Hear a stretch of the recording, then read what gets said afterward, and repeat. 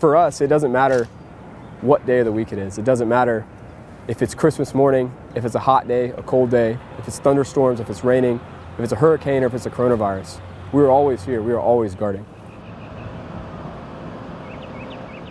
It's a very unique time for us to be in Arlington because there's no one in here. Um, I think that's honestly when we feel closest to what we do. When we feel closest to the unknowns is when no one's here. It's in the middle of night when we're still guarding at 2 a.m. It's when a blizzard is going on and no one's here, or when it's incredibly hot.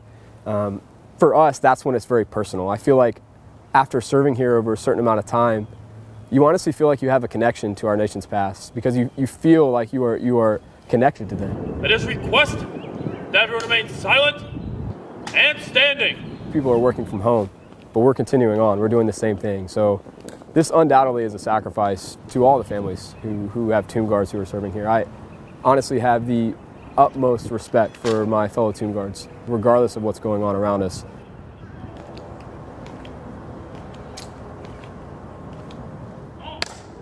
Halt!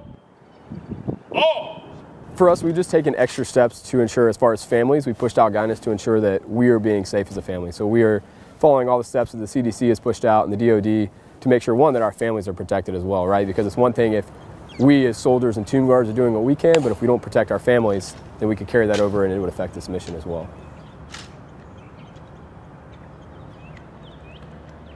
I think it's important for us to show to this country that we haven't forgotten, that we will never forget the sacrifices uh, that these soldiers made, that the missing in action, the unknowns made,